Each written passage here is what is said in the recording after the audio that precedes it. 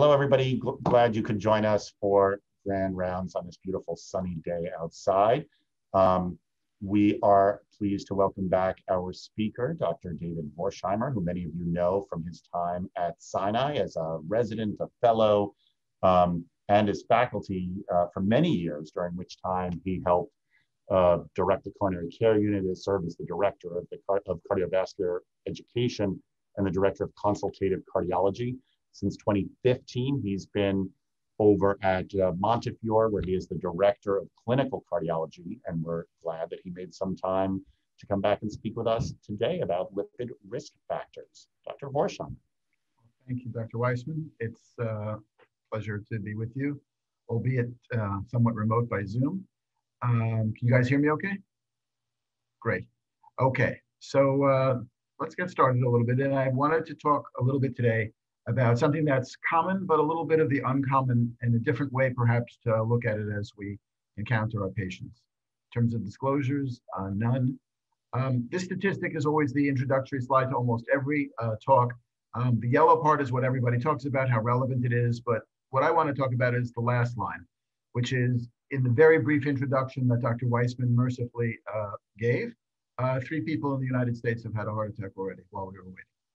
Um, and that's the challenge that all of us face, uh, principally as um, not only as specialists in cardiology, but I would argue uh, from a public health point of view, more specifically and more effectively uh, in the primary care uh, arena. And that's what I wanted to speak with you today.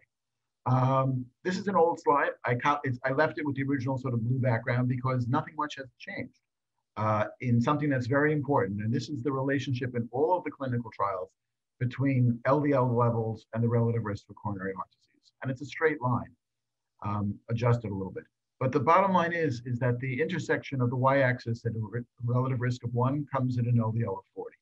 And it emphasizes to us that, you know, the day-to-day battle that we have is to focus principally on LDL. And as I will show you today, um, to keep in mind not only the LDL, but all the other components of the risk of the lipid risk profile um, that are relevant in 2021. So, it, you know, this is certainly not something that is exclusive to cardiologists. We see this all the time. Um, and, you know, to that end, appropriately, we would be remiss if we did not sort of emphasize the number one recommendation in the ACC/AHA guidelines for lipid modification, which is a diet emphasizing intake uh, appropriately. The reality is, is that most of us don't do this because we don't have time. Uh, in, the, in, in the limited time an encounter, particularly in a patient with multiple primary care problems, hypertension, diabetes, lipidemia, other things, uh, unfortunately this falls by the wayside. Uh, but it doesn't mean that it should necessarily be overlooked. And the cartoon was there as sort of a brief reminder of that. Um, and the guidelines basically dive in that way. And I just want to toggle back and forth between this uh, summary slide of the most recent iteration of the uh, all the society guidelines for the management of cholesterol. Um, we're going to spend a very, very brief period of time talking about the primary care and the rest of our time talking about what we share together, which is the patients with established cardiovascular disease. So again, healthy lifestyle at the top, and then a bifurcation immediately into the patients not so much at high risk and the very high risk, particularly with established disease. Okay. The challenge I think that we have as a public health system so far is that as much as we can relentlessly try to follow what's called guideline-based medicine, the practical reality is that over and over again, and this has been shown now for more than two decades, that even the most aggressive adherence to the guidelines, the vast majority of patients with premature coronary artery disease in the United States do not meet guideline criteria for preventive therapy before their first MI. Okay, um, and this is age of the first myocardial infarction, looking at all the class one recommendations, even the class 2A recommendations. The two guidelines, uh, the 2013 and the most recent reiteration.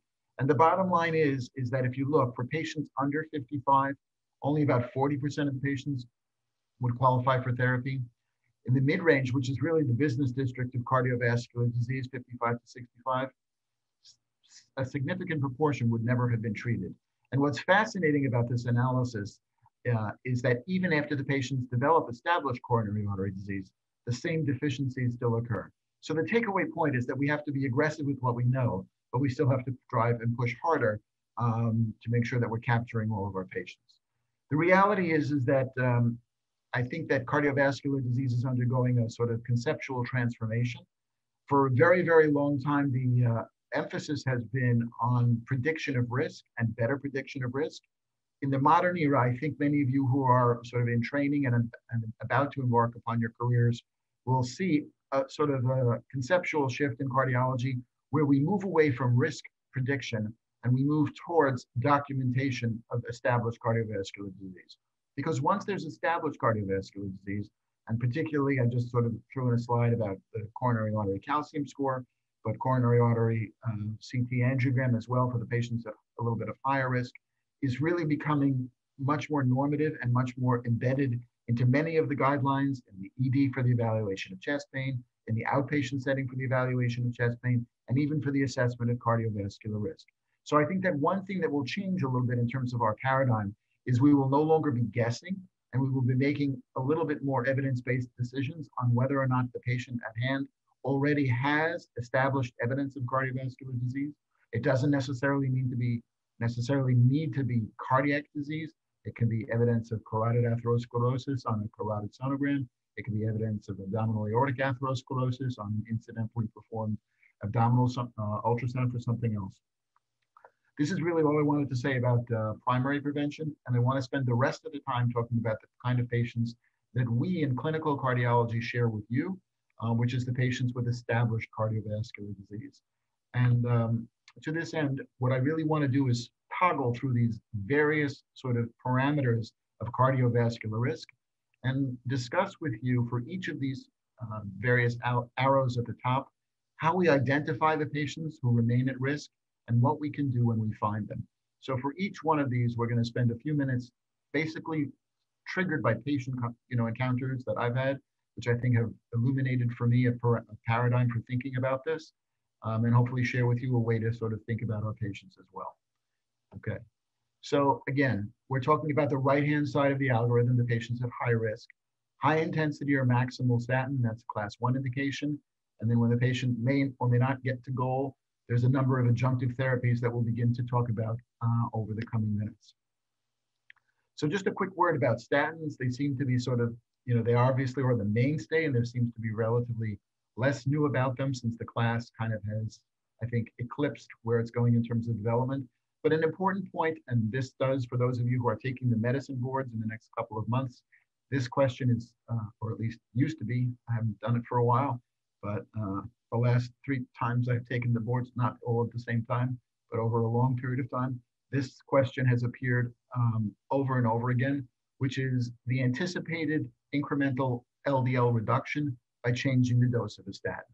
And the takeaway point, this is, I think, something to be remembered every day in clinic, which is that the majority of statin LDL efficacy is achieved at the starting dose. You see the three major quote unquote high potency statins, um, and you see there are differences in the incremental dose in purple um, about the starting dose. But what is true across the class of statins is the so-called rule of the sixes, namely that each subsequent doubling of the statin dose will only further lower the LDL by a further 6%. Another way of thinking about that, as you go from whatever baseline LDL accomplishment you're able to attain with a, atorvastatin, if you started at 80, starting at, at 10 rather, and then you went from 10 to 80, you'd only get a further 18% reduction in LDL. This is something that's important to talk to patients about because if you start a patient on a low dose and then increase the dose, when a patient goes from 10, of 20, 10 to 20 of rosuvastatin, they expect a doubling of their LDL effect, and they're not going to get it. And we should be able to understand that and have a conversation about that and integrate that into the way we're thinking because the fundamental engine of the way we approach LDL is here's where the patient is, here's where the patient needs to get to, and are we doing what we need to do to make sure that they move from where they are to the appropriate target? Okay. Um, to delve a little bit further into you know just residual cholesterol risk, this is one of the most famous uh, sayings that is often cited in uh, many of the primary prevention talks that 50% of all heart attacks occur despite quote unquote normal cholesterol levels. And this is often cited by the people who um, feel that cholesterol is really not the risk factor that cardiologists tout it to be, or that there's some other risk factors which perhaps we're overlooking. The reality is, is that the source of this statement um, is a New England Journal article um, that was a transcript of a lecture, one of the named lectures at the American Heart Association that Dr. Braunwald gave about 20 years ago, the Shattuck Lecture, where he made this comment. There's no uh, attribution to it, there's no citation for it, but it has become uh, sort of a slogan in some of the non-cholesterol approach to uh, to uh, approach to, to thinking about cardiovascular disease. And I would argue, in retrospect, that as we look back over you know further two decades since Dr. Braunwald made that observation, is that Dr. Braunwald, like he was, like he is in so many other things, was actually right. Um, it's just that the data wasn't there. And I think what this observation represents was certainly at the time, and in many ways still at this time, our less than complete effectiveness in identifying patients who are at risk and understanding what's really going on with them. Um, and I'm just going to show you a couple of quick clinical vignettes from patients that I've seen, just because I think they help to highlight to me um, where this uh, where this comes into play. So this was a patient I obviously met a long time ago. Um, at the time, sort of the standard cardiovascular risk profile, hypertension, diabetes, hyperlipidemia, former smoker, prior stroke, peripheral, art peripheral arterial disease, uh, first um, onset of chest pain in 2005, an abnormal stress test, so-called triple vessel disease, but not really, mostly LAD disease. And he had a stent then of the LAD. Nothing unusual here, as bread and butter, as routine as it could be. Um, in 2006, so this is uh, right around the time when he presented with his initial uh, event, cardiac event. These were his medicines. Obviously, many of the medicines represent medications that were uh, widely in use then, especially the statin, which obviously is a low potency statin, which we really don't use anymore. But still, in terms of 2006 numbers, his lipid profile was pretty good, uh, I would say. Um, sorry about that. And one could even argue that he was relatively at goal, uh, more or less. Certainly on, on first blush, I think if we saw this patient in clinic, we would say, you know, good to go. Let's keep going. If we look at what happened to this patient over the ensuing um, year, uh, the patient came back for a stent of the circumflex. A year later, came back with recurrent angina and had a new lesion in the LAD. By this time, he had been switched to simvastatin. And his wife actually asked me what I thought was a very good question which is she said, you know, doc, we're doing everything that you're telling us to. He's taking his blood pressure medicines, taking his diabetes medicine, his hemoglobin A1C is controlled, and he's taking his cholesterol medicine, and his cholesterol looks to be under control. See here, you know. So, what can you tell me to prevent me from making sure that you know my husband doesn't have another heart attack? So we looked at his LDL and his lipid profile that day, and so we'll just take a moment to uh, take a look at this. So what bothers one about this case? And I think as is often the case, the patient, or in this case, his wife, you know, really raised the, the relevant question, which is looking at these numbers, this patient should not be having recurrent events. This patient should not be, you know, a platinum frequent flyer in the cath lab, having had four interventions in the last year and a half um, with this set of numbers and with his blood pressure and his diabetes similarly under control. So we're going to divert for a second to begin to understand and to delve a little bit deeper. Uh, this goes back to the second year of medical school, which is the basic lipoprotein structure. Uh, remember that um, what we measure in LDL cholesterol is basically derived from the transport protein. So uh, we have looked for a number of years at factors beyond LDL level. And one of the things that you may have heard over the last couple of years is interest uh, in the cardiology point of view in LDL particles, and particularly LDL particle size or number. Um, the reality is, is that for a large period of time, most of this was dominated as much of you know sciences in the contemporary United States is dominated by industry. And there was a large company which is no longer in business, which seemed to have a, uh, an assay to distinguish large LDL from small LDL. And they made quite a bit of fuss about this and quite a bit of noise. And there was a great deal of sort of theoretical reason why small LDL was more dangerous because it could sneak through the wall in the space between um, two adjacent endothelial cells, et cetera, et cetera. But the reality is, is that it has little probably to do with the size of the LDL and a lot more to do with the particle numbers. Because if you have two patients who have the same LDL concentration, both, let's say, with an LDL of 130, the ones who have a small LDL actually have a lot more particles. And the ones who have large LDL, this is sort of simple algebra, have many fewer particles. And at the end of the day, it's not the LDL concentration which confers the risk, but it is the atherogenicity of that patient, okay? And because they have more particles, they are at higher risk. And the reality is, is that, you know, even in, as part of the larger Mount Sinai, you know, system, you've all heard Dr. Fuster talk extensively about the mechanisms and the development of atherosclerosis. And the reality is, is that LDL particles promote atherogenesis by destroying one endothelial cell at a time. They pass through the endothelial cells and become so underneath. Particles develop into plaques. The monocytes come in, become fatty cells, and that's how cholesterol deposition happens. But it happens one LDL particle at a time. Now, in terms of translating this interesting sort of physiological, um, you know, nostalgic look at the second year of medical school into uh, something that's actionable. So we all know about LDL cholesterol cut points. In other words, cutoff points for the guidelines. So for example, most of us are think about that there's some number in primary care, perhaps 130, perhaps 100. Uh, in secondary prevention, the LDL cholesterol is 70. Those numbers are actually derived from the Framingham study, and they represent the percentiles in various um, population in the in a, in a bell-shaped curve. So, for example, the hundredth percentile, sorry, the 20th percentile of LDL represents an LDL of 100, and the fifth percentile of LDL represents an LDL of 70.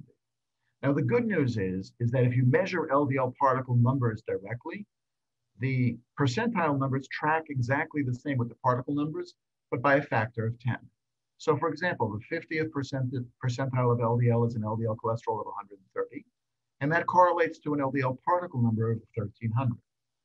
Similarly, an LDL particle, an LDL cholesterol of 100 is the 20th percentile, and that correlates to an LDL particle number of uh, 1000.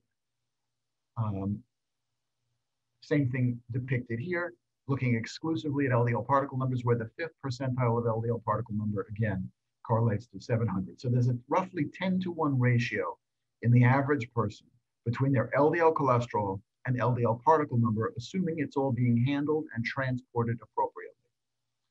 Okay, we'll skip that in the interest of time. So again, back to our patient. Um, he had, at the time of his third stent, an LDL of 64. So if we were to measure his LDL particle number on that day, we would reasonably anticipate an LDL particle number roughly 10 times 64, so roughly in the neighborhood of 640. And in fact, you can measure this commercially. Um, there's a company in a lipoprotein, which does a lipoprotein analysis, a company called LipoProfile, um, which um, is available as an in-order test in the, in the main Sinai labs. It's available in the outpatient world through LabCorp, where you can actually measure LDL particle numbers. And lo and behold, in this patient, as you can see by the arrow here, the LDL particle number in this patient was not 640 or 650, but rather 1400. Okay, correlating, if you think about it backwards from a, from a percentile view, this means that for this individual patient, his LDL was roughly equal to an LDL of 140. And that's why he was having all these recurrent events. Because despite a seemingly reassuringly normal looking LDL cholesterol concentration, he was at risk and he was behaving that way. So, what do you do about this? Um, what you do is that this LDL particle number then becomes, as much as you can, the, um, the therapeutic target for what you do. And the reason for that is because this has been demonstrated over and over again is that there is a, a significant clinical implication of a discordance between LDL cholesterol numbers and LDL particle numbers. So for example, this is relative risk of something happening to the patient over five years of follow-up, according to the ratio of their LDL particle number and their LDL cholesterol. So in the black is people who are quote unquote normal, whose LDL particle number and LDL cholesterol track by that 10 to 1 ratio and they represent the average line. In the red is someone like our patient, whose LDL particle number exceeds their LDL co- their cholesterol by a ratio of 10 to 1. And those are the patients who actually have a much higher risk of events happening. Interestingly, and we rely on this in primary prevention, or certainly I do, for decisions with or conversations with patients about whether long-term statins are needed on the basis of an isolated LDL, is that the flip side of the equation alternative works as well. Namely, for patients whose LDL particle number is actually reassuringly lower than what would be projected by their LDL cholesterol, those patients actually have a more favorable outcome. It's not immunity, but they have more favorable outcome. So for patients like the one that I showed you, where the LDL particle number is disproportionately elevated, what many people do is utilize this as the therapeutic target. And the good news is, is that this number responds to anything that you would typically use to lower LDL. So if you found your patient with an LDL of 140 and you went through your typical algorithm, whatever it might be, increasing the statin dose, switching to a more potent statin, adding Zetia, um, adding a PCSK9, as we'll talk about, any of those interventions which lower LDL can lower LDL particle number. And you can really make a difference with this patient. So we were intrigued by this, and I think that's actually, you know, again, I know that many of the people in the audience are residents and the concluding, you know, quartile of their uh, training.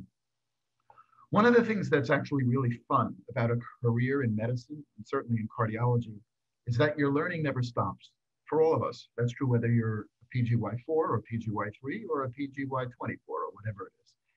Uh, and the reason is that is because if you ask appropriate questions, you continue to learn from patients. Many of you, understandably, at this juncture in your career, are wondering, like, how am I ever going to learn something without a preceptor, without attending? And the reality is, you learn a lot on your own because you learn from patients who are, in many ways, the greatest teachers of all. So this was an analysis that we ran, uh, really inspired by that individual patient and a couple of others, where we at Sinai a couple of years ago, when I was still there, uh, we took uh, NMR lipoprotein. We measured NMR lipoprotein analysis in real world patients. So unlike many of the clinical trials, which have shown that if you do this for everybody, it doesn't really add anything incrementally. And you can readily understand why those trials ended up that way. Because if you have a patient whose LDL after recurrent events is 120, I don't need to know what their particle number is. I know they're not at goal. Where this technology becomes useful is patients who, on by virtue of the conventional or superficial testing modalities, appear to be protected are in fact not. So we looked at 400 patients, um, most of whom had coronary artery disease, secondary prevention. Mean lipid levels were actually pretty good, an LDL of 71, HDL of 50, non-HDL of 94. So about two thirds of the patients, a little over half, had an LDL under 70. So on balance, this is patients in the cardiology practice. Uh, we looked at consecutive patients with, um, uh, with established cardiovascular disease. And the vast majority of the patients were actually at goal by conventional modalities. So then we said, okay, let's take this group of patients who, whose LDL appears to be at 70, and let's measure NMR lipoprotein analysis in them. And what did we find? That of this cohort of patients, that's roughly 400, who seemed to be at goal by conventional lipid profiles at the time, about a quarter had a disparity between the LDL particle number and the LDL goal. This is the representation of the patients who remain at residual risk for LDL, despite our conventional ability to. Now, the truth is you don't need to measure uh, LDL particle number. You can measure the same thing with ApoB, which is the LDL carrying protein. And that is usually in most hospitals an in-house lab. And again, there are measurements for that. We look for an LDL, eh, sorry, an ApoB of around 85, which uh, confers essentially immunity the same way an LDL cholesterol of under 70 would be. So back to our algorithm. So we have our patient who is at high risk high intensity or maximal statin, where do we go from here? So I just want to spend a word about talking about high intensity or maximal statins because one of the most vexing things that we deal with in clinical cardiology is the idea of statin intolerance. Um, and the definition of maximally tolerated or uh, highest dose available statin is one that continues to evolve. Um, muscle aches represent one of the most challenging problems that we have. There's an abundant amount of evidence that patients are aware of. And that is a very, very frequent um, cause for patients either to become completely non-adherent, to become partially non-adherent, to skip doses here and there. This was a fascinating analysis. Many of you saw the preliminary version of this in a letter to the editor in the New England Journal of Medicine about six months ago. And then there was a follow-up larger analysis published in the BMJ a couple of weeks ago, where they took uh, a reasonable sized cohort of patients, 200 patients, all of whom had uh, basically severe muscle symptoms from being on a statin, and who basically said, We're finished with statins, we're not going to try, it, we're not going to take it anymore. And what the investigators did was over the course of the, uh, of the ensuing um, the ensuing year, is they basically randomized the patients every two months um, to six months on, six months off, six months on, six months off, atorva at a dose of uh, 20 milligrams. And they looked at a couple of things. First of all, they looked at the development of muscle symptoms, adjusted according to when the patient was on statin or on placebo. And while 60 something percent of the patients in the total trial complained of intractable muscle aches, the frequency of that complaint was identical as to whether or not the patient was on a statin or whether or not they were on a placebo. Similarly, the withdrawal rate was identical, about 8%, regardless of whether or not the patient was on a statin or on a placebo. And what this, because it was an N equals one trial where the patient was his or her own control, it became a useful opportunity for the investigators at the conclusion of the trial to have a conversation with the patient and say, look, I see that you're having terrible muscle aches, but it really doesn't appear that you would that you are having those symptoms attributable to the statin because they are occurring in you with equal frequency, whether or not you're on the statin or not. Given the importance of being on a statin, uh, would you see yourself clear to considering resumption of the statin based upon how important it is for your medical regimen? And two thirds of the patients said yes.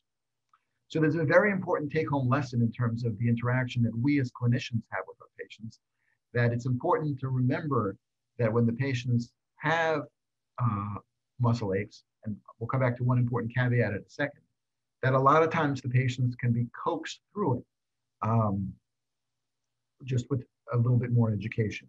It's important to keep in mind that in this trial, the patients were enrolled in the absence of an elevated CPK.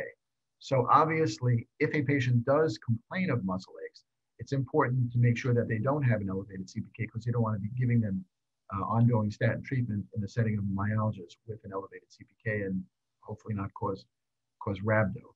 But for many of our patients who drop out of conventional statins or are intolerant to higher doses of statins, we can certainly make a difference in what they're doing. And this is simply a matter of conversation. So let's go back to our, our, our patients. So we, we have our patients who are at residual uh, cholesterol risk, and we've talked a little bit about how we can identify those um, with an LDL above 100, and I would argue even with an LDL above 70 if the patient has known cardiovascular disease. So the guidelines obviously weigh in on this because this is the most frequent scenario that we encounter a patient with high risk atherosclerotic cardiovascular disease already on high intensity or maximal tolerated statin who's not at goal. So the next step would be the addition of ezetimibe and it's 10 milligrams, one size fits all. Um, and then there are some medicines that we'll talk about thereafter. So again, uh, as many of you know, um, cardiology really has been revolutionized in terms of lipid management by the PCSK9 uh, antagonist. And just as a quick review again um, about the basic science, so PCSK9, as we'll show in a second, is part of the body's housekeeping for LDL metabolism.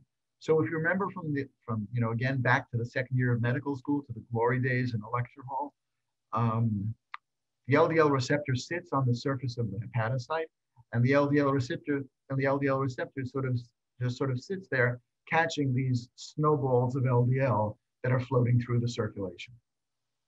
Once the LDL receptor grabs a molecule of LDL, it pulls it through uh, the cell membrane, uh, where it becomes a uh, vesicle, which ultimately undergoes lysosomal degradation. But only the LDL undergoes the lysosomal LDL, lysosomal degradation, the LDL receptor is released and goes back to the surface to catch another molecule of LDL. And in normal function, in normal sort of life cycle, an LDL receptor makes 50 trips in and out of the cell before it's ultimately degraded in the um, after it's kind of quote unquote worn out. That's if nothing else was left to play. However, um, the body has, as is often the case, sort of a counter-regulatory mechanism, which is PCSK9. PCSK9 is that protein which promotes the degradation of LDL receptors. So here, in the presence of PCSK9, the same thing happens. The LDL receptor grabs the molecule of LDL, sucks it through the circulate uh, through the cell membrane, where it becomes a vesicle. But here, in the lysosomal degradation, both the LDL molecule and the LDL receptor are destroyed by lysosomal degradation. So the LDL receptor, instead of having 50 round trips, now has one before it's destroyed. And obviously, there are then the, the other 49 LDL molecules are free to float around in the circulation and wreak havoc in the arterial walls. What the PCSK9 antagonists do is they block PCSK9. So by virtue of blocking PCSK9, they now allow the LDL receptor um, to reconstitute itself. Those 50 normal trips and obviously have a tremendous impact on LDL reduction. So it, within, with uh, PCSK9 antagonist pre uh, present, the LDL receptor goes through the normal transit and is then released again keep going to catch LDL molecules on the surface of the receptor. Uh, there are two of them in clinical um, that are available in the United States. We'll talk about price in a second. Slight differences, they're both administered by injection. Um, subcutaneous injection, which the patient can do himself or herself. It's actually easier to do than, than insulin because both device, both uh, agents have automatically self-injected devices. And in terms of access, they both become a lot easier to access because you no longer have to write the prescription through a specialty pharmacy. The regular old CVS or Walgreens or Duane Reade on the corner uh, can obtain and dispense these drugs without much, um, with, without much, without much fuss on the part of the prescribing physician. In terms of in terms of evidence to support this, so this is the one of the major trials looking at uh, one of the two, one of the PCSK9 patients with established coronary disease already on maximal dose statin therapy, plus or minus ezetimibe with an LDL above 70, half getting the PCSK9, half getting the placebo, followed initially for um, for a very short course, but then longer as well. So a couple of things that are available. Number one, on top of whatever else you're getting, you can achieve a roughly 50 to 60% reduction in LDL. Okay. Number two, because it's a monoclonal antibody and it doesn't require sort of getting into the mechanics of the hepatic enzyme, it actually works very quickly. The truth is the LDL is brought down literally within a day or two.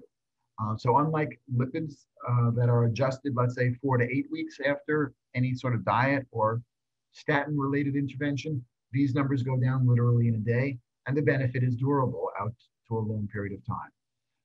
And not surprisingly, there is a clinical correlation with that, which is in a composite of cardiovascular endpoints. There's about a 15% reduction in events that is achieved over three months. Um, it's widely known that there's a great deal of concern about the cost of these medications.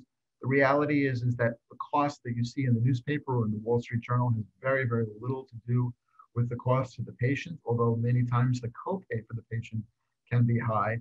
But the reality is, is using a conventional cost effectiveness analysis. This was an analysis in JACC about a year ago from the Odyssey trial um, that certainly for patients with an LDL of 100 or more uh, and established cardiovascular disease, um, the, the PCSK9s are well within the boundaries of what we consider cost effective in the United States today. Um, in terms of uh, other opportunities for, um, for uh, PCSK9, this is a, slightly different mechanism. This is an mRNA antagonist, uh, which turns off secretion of the gene for the PCSK9. Uh, very analogous to what's been going on uh, with the Moderna and Pfizer vaccines. Again, you saw this in the New England Journal of Medicine about a year ago. Um, the clinical trial is still ongoing. Other medications that are available now in the United States, already FDA approved, available at a drugstore, you know, near your patient, uh, is bempedoic acid, which is a prodrug.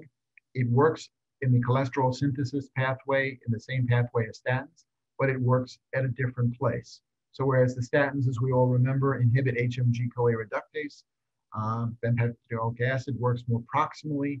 The bottom line is, is two things, um, three things that, that is important to keep in mind. Number one, there is a synergistic effect in terms of combining it with statin. So this is another way to further lower LDL, and I'll show you some data in a second. Uh, number two, because it does work proximally in the cascade, it actually upregulates the LDL receptors for the patients and therefore makes the patient's own LDL receptor more efficient. And because there is no bempedoic acid present in skeletal muscle, there is no cross reactivity and there's no entity of, of muscle side effects related to this. Was the Clear Harmony study, which is the pivotal trial that essentially established it getting reduced, getting improved. And you see here about a 15% reduction in LDL. So again, um, not a huge reduction in LDL, but another incremental way to chip away at the LDL for patients who are not uh, necessarily at goal. Okay, so in terms of time, I wanted to leave um, adequate time for questions. I had discussed this with Ryan before last week. So in terms of two of the other parameters on the slide, residual inflammatory risk, although we do have a biomarker to assess it, the reality is, is that the clinical trial data is a little bit controversial. And in the interest of time, since it's not part of the mainstream, I think we'll skip that. Similarly, there are patients who have residual thrombotic risk as the mechanism for their recurrent disease. The challenge there is that there's no simple biomarker. And perhaps there are ways to sort of do more targeted antithrombotic reduction. And there are certainly trials which have looked at that. But the reality is, again, these two are a little bit more sketchy and a little bit more far afield uh, from the bread and butter observation of what we're talking about today, which is residual lipid risk. And that's why I want to spend the rest of our time talking about these two. So again, another patient that I saw, uh, slightly different patient, 64 year old male. Um, this is a more recent one. LDL pretty close to goal. HDL not too bad. You know, an LDL cholesterol profile again, which in patients with established cardiovascular disease, we would say is not that unusual. And it's probably pretty reasonable. I mean, many of us would reasonably look at this if a patient was on statin monotherapy and say, you know what, it's pretty close, let's repeat it in a few months. Okay. And yet that patient is exactly the definition of a very, very large group of patients that we still see patients whose residual cholesterol lipid risk is actually not defined by their LDL, but by their triglycerides, which historically have really been overlooked in cardiology as we have focused largely on LDL and for a long period of time, certainly in the clinical trials, focusing on HDL. But the reality is, is there's a lot of data that has emerged lately, both mechanistically, observationally, and most important, clinical trial intervention data, which now reinforms us that we need to look a little bit more carefully at this for patients not with astronomically high triglycerides, as we were once brought up on, looking at the patients with an LDL of four, a triglyceride level of four or 500, but the bread and butter sort of run of the mill meatball kind of and spaghetti triglyceride of over 200, that is another opportunity for us to make uh, an intervention. So again, remembering that we're uh, back again for another quick last final visit to the second year of medical school. Uh, we, we know that the prototypical cholesterol molecule is a combination of triglycerides, active cholesterol, and some sort of uh, cholesterol transport protein, remnant cholesterol, which is what we look at, many of us are interested in today, total cholesterol minus the HDL minus the LDL. And that gives all of the non-LDL related cholesterol in one simple number. So um, Obviously, this field was ignited, really turbocharged by a paper that many of you saw uh, in the New England Journal of Medicine a couple of years ago, looking at uh, acid, um, fish oil, four grams a day, looking at patients with coronary artery disease or diabetes on a statin, LDL already under 100, so pretty good. And their enrollment criteria was triglycerides above 130 and 135. And the primary endpoint, um, composite of a bunch of cardiovascular uh, endpoints. And again, um, patients with an event, primary endpoint, secondary endpoints, very, very significant reductions. A 25% reduction in clinical events out to five years. And this really was very, very impressive because remember that these patients, again, on balance, were, did not appear to be that vulnerable. Their LDLs were mostly at goal, and their triglycerides were not hideously out of control. Um, in. Uh, interestingly, what, what really sort of made a lot of people interested about this is that the reduction in cardiovascular events appeared to be higher than the reduction in triglyceride level, suggesting that perhaps there were even other mechanisms beyond simple triglyceride reduction uh, that were important. Now, the reality is, is that um, the trial was highly controversial because the placebo group included patients taking many of them something else, and there was a lot of speculation as to whether or not the placebo arm may have actually uh, fared worse than a conventional placebo arm. We'll talk for a second about some of the other fish oil trials. But the bottom line is that in the wake of this, obviously data that was ongoing, but two analyses that were published back to back in JACC last year, is that looking at the, the clinical implications of remnant cholesterol, the, the formula that we talked about, total cholesterol minus HDL minus LDL, looking at everything else. Two trials around the world, one from Spain, one from Copenhagen, basically showing the same thing, namely that if you look at patients whose LDL looks reasonable by whatever definition you want to do, there is still a significant and incremental hazard of an elevated remnant cholesterol, which for most of our patients entails their uh, triglycerides. Now, fish oils are not new. They've been around for a long time. And one of the things that has also become interesting in the wake of the publication of the REDUCE-IT trial is a greater sort of in-depth understanding. When the patient says, why do I need a prescription drug? Can I go to my health food store? Can I go to Costco and just buy, you know, a thousand pills of fish oil? The answer is yes, no, and maybe, because it may actually depend upon the composition of the fish oil. So specifically, whereas icosapentaenoic acid, that was the uh, vehicle in the REDUCE-IT trial, was associated with a significant reduction in clinical events, a similar trial that was undergoing at the same time, the STRENGTH trial, using a slightly different fish oil, one that was largely composed of DHA, which you can see is a different molecular structure, was terminated prematurely after a lack of, for futility, for lack of efficacy. So I think the correct answer for our patients is there is certainly evidence that fish oils work, particularly for patients with elevated triglycerides, but it is important to practice evidence-based medicine and use, at least for now, the one that has been proven in clinical trials. And this again is FDA approved. It actually just a week or two ago became generic um, in terms of where we are. So we have a fair amount of evidence now again to identify a second cohort of our patients very much under our noses, patients with triglycerides above 200 particularly those with an HDL under 40. Okay. One more clinical vignette uh, from a patient that I saw, again, fairly recently, about two years ago. So this is a young uh, patient who presented with uh, an acute MI. And as you can see, the LAD, you know, has a very tight uh, stenosis here. There's lesions in the circumflex, which is terrible. And the right coronary has um, at least a 50% stenosis over here. So you have the, the infarct-related artery over here. You have terrible disease in the circumflex and the branches of the circumflex and the RCA. And again, looking at this patient, he's 39 years old. Um, he actually works for the Yankees, although he doesn't play for them. Although the way they're playing lately, he could with this uh, with this heart.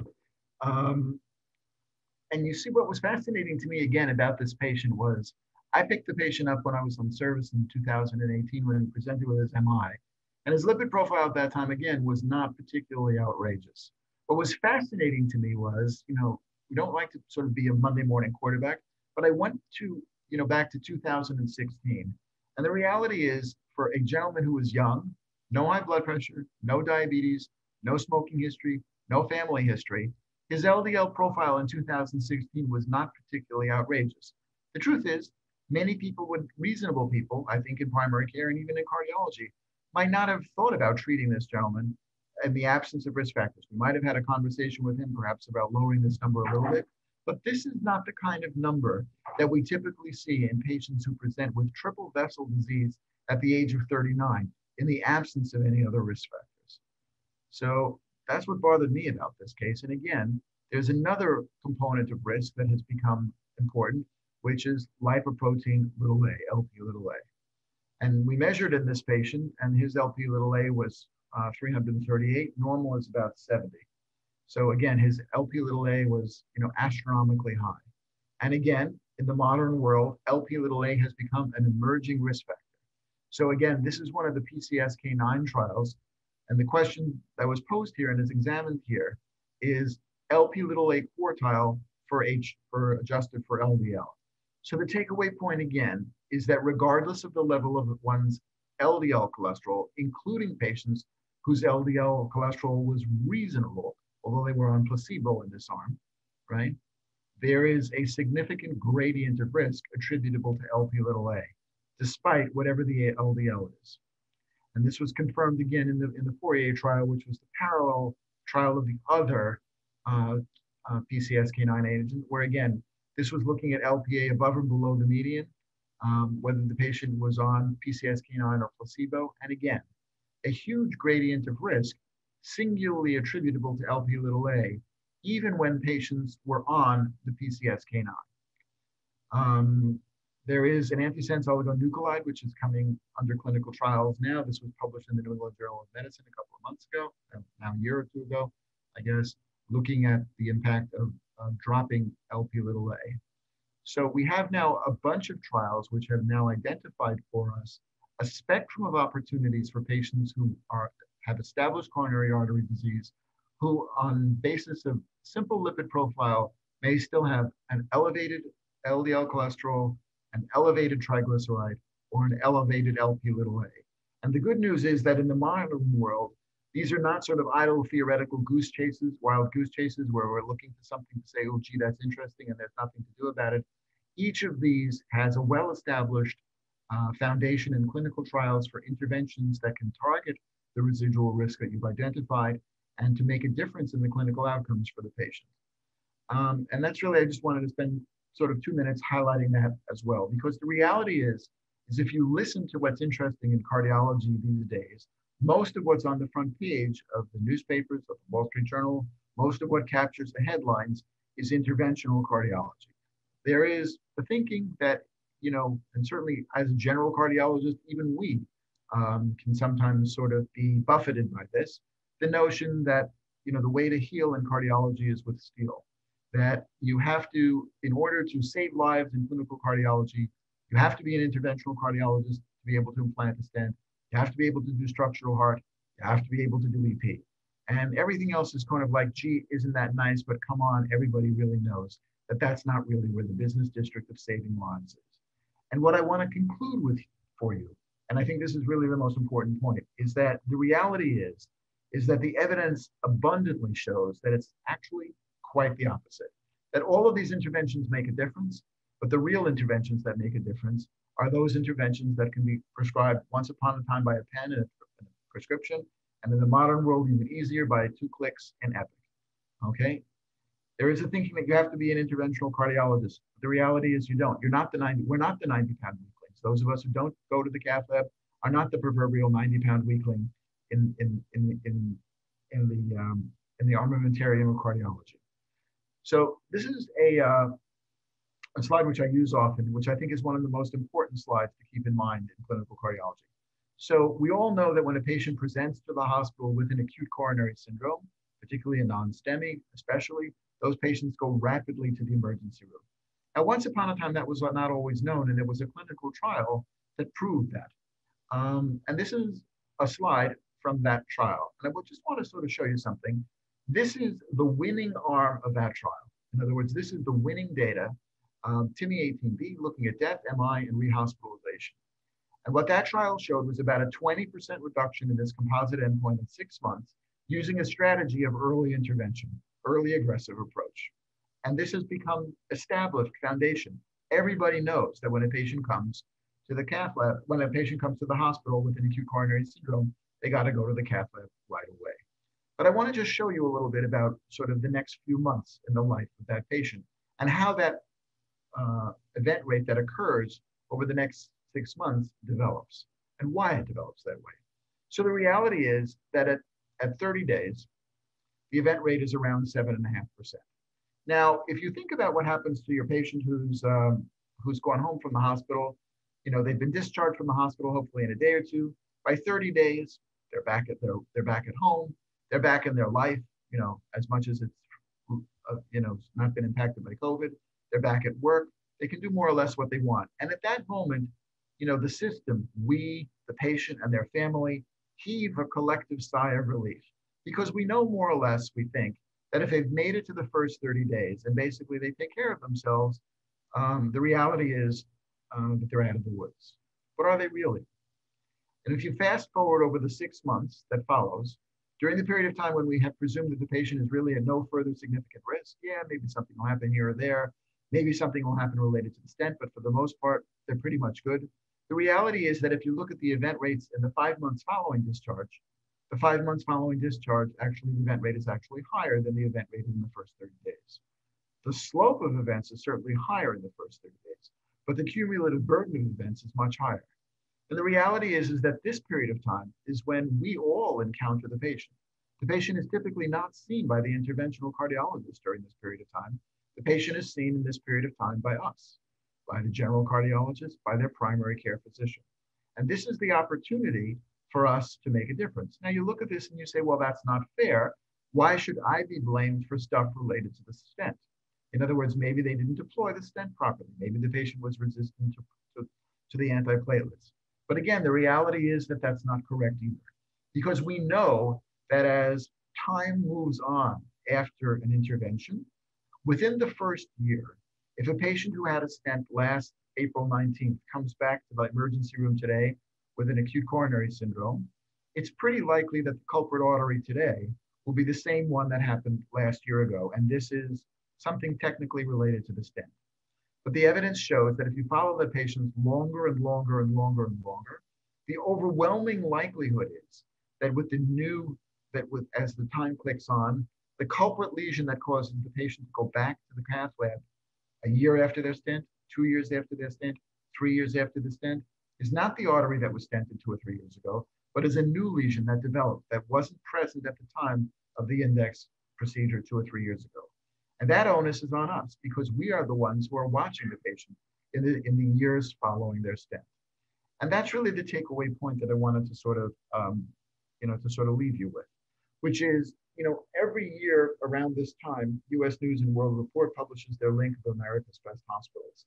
Um, and all the hospitals vie for it, and Mount Sinai especially when it takes out advertisements, as does Montefiore, saluting their ranking and where they are in cardiology and this and that. A number of years ago, there was a fascinating analysis um, run by the folks at Duke based upon the Crusade registry that we were involved in, which asked the following question. If you look at what's going on in the care of the patients in those hospitals that rank the highest, what exactly is going on that is attributed, that is causing these hospitals to have the best outcome? What is exactly, and most importantly, is it transferable?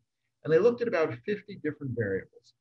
And what they came away with was that at the end of the day, the success in America's best hospitals did not have to do with whether or not your, your physician in the hospital is a cardiologist or not. Truthfully, it had little to do with whether or not the, the hospital had an open heart program or the most advanced intervention. It had to do with guideline adherence. Whether or not the patients at discharge and during their hospital stay received the medical therapy that has been proven in clinical trials to make a difference in clinical cardiology. And the formula that they came up with, and that has withheld over time, is that every 10% in guideline adherence increase translates into an equivalent 10% reduction in mortality. And that opportunity is available to everyone. That opportunity is available to the head of the cath lab, and that opportunity is available to the intern caring for the case um, in the CCU or on the floor on the morning after, making sure that evidence-based medicine, that the residual risk that we have talked about is addressed, is within the power of everybody. And just along that same line, I just wanted to leave you with one quick little thing, um, which is looking at statin prescribing by clinic appointment time. So there's been a lot of evidence that you know realizes that doctors are human too, and that we fatigue. And this looks at the, the likelihood in a cardiology practice. This is at 10, 10,000 patient visits in statin naive patients. And compared to morning appointments, the odd ratio of a new statin for those with an afternoon appointment was significantly reduced. So you can see the likelihood of getting a statin order drops precipitously through the day. So for those of you, you know, who had clinic this morning and were perhaps prescribing a statin, great. And for those of you who uh, may be going to clinic this afternoon, remember this as well. So I wanted to just thank you for your attention. I hope that this was uh, helpful in terms of uh, identifying new ways to rethink what's often under our nose. And uh, I promise Ryan, we take some time for questions. So we have about seven or eight minutes left. Excellent. Thank you for that. That uh, very eye-opening talk. Very much appreciated. Um, we'll open the floor to questions or the chat. Dr. Berger, I don't think if this is a question, he wrote it all caps with an exclamation point guidelines. Dr. No, Berger. not a question. Um, just thank you very much. I think that's something all the residents understand why I say that. I think that medicine, yes, on the extremes, there's a lot of room for expert opinion and, and stuff. But I think that if we look at um, what the primary data always shows, as well as how it's incorporated in the guidelines, guideline adherent therapy um, is what leads to great outcomes. They're the guidelines for a reason. They may not be perfect. They may be different in 10 years with new information, but right now they're the best we have for the average person. And I thank you. And it, even with that, I, I'm amazed at how how good the correlation was. Did they get into anything about, you know, a, a little deeper, like, I mean, a 1% increase to 1% reduction that that's more than chance. I mean, that's a pretty impressive number. that would be a number needed to treat of one. So um, is there anything beyond what was sort of on the slide you think that goes into that? In terms of what I said to you about the US hospitals looking at the, the correlation? That and all your other points around how guideline adherent therapy really um, just seems to yeah, dramatically I, improve I think, care. No, I mean, what I, I, think your point is, and thank you for the question. Um, I think your point is exactly right. The guidelines are guidelines. They're they're supposed to be, you know, a framework for thinking. They're not. That's why they're called guidelines and not handcuffs. You know, they're they're not. Um, they're supposed to be, um, you know, just a, a, a way of, of thinking about uh, our, our patients. Um, I think you're absolutely correct that the guidelines, the good news about the guidelines in the modern world um, is that they have been bolstered a lot by, by a lot of evidence. The challenge, I think, is, is that over time, you know, as you correctly alluded to, the guidelines get revised every couple of years. And the challenge is, is that as the guidelines, um, you know, evolve, two things happen. Number one, they get longer, so they get harder to read. So when you get JACC and you see that they've revised the guidelines for AFib, you say, great. Next, you know, because they're too long to read. And that's why almost every time the guidelines come out, somebody actually writes a summary. So they reduce a 100 page document to a 10 page document where they try to say what's new. But consistent with that or coexisting with that, I would say, is the fact that as you look at over periods of time, and this was published in The Lancet a couple of years ago, that particularly in cardiology where the guidelines for a lot of different things are revised every couple of years. As you look from iteration one to iteration two, iteration three, the number of recommendations has gone up astronomically, but the number of class one recommendations has gone down. And that's not because we lack evidence. I think within the spectrum of you know the field of internal medicine, we have the best evidence of any field of medicine. Um, but the reality is, is that there's so much more to the management of patients that the people who write the guidelines, I mean, I, I worked on a guideline committee with the antithrombotic guidelines a couple of years ago, and there's a great sort of propulsive, you know, temptation to sort of weigh in on something and say, well, this is something that we we wrestle with all the time.